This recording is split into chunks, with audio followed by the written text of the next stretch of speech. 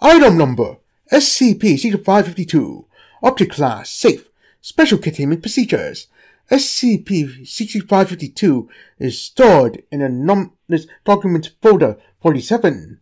All testing of SCP-6552 is discontinued, and no one is to rename or play SCP-6552 under any circumstances. Description SCP-6552 is a .wav file consisting of the sounds of water crashing against the shore.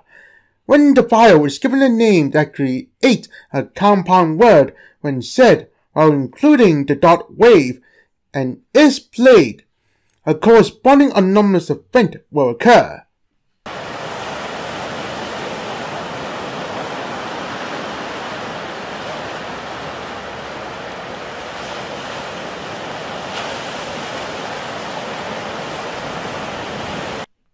Addendum 6552-1 Test Log Dr. Henderson instructed D41897 on what to name SCP-6552.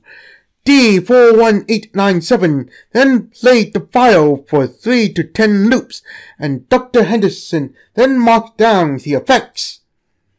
Name of SCP-6552 Sound.wave Anomalous event the audio of SCP-6552 did not come out of the speakers hooked up to the computer used to play the audio, instead emanating from the pixels making up the dot wave file itself. Heat dot wave.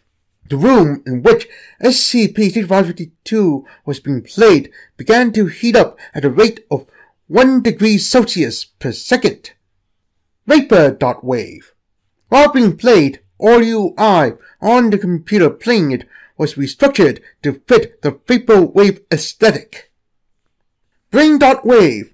All personnel at Test Site 98 were able to hear SCP-6552 being played, although no recording devices were able to register any sound.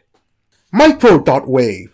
When played, concentrated radiation was emitted from the device playing SCP-6552, causing D41897 to expire after three loops of the audio.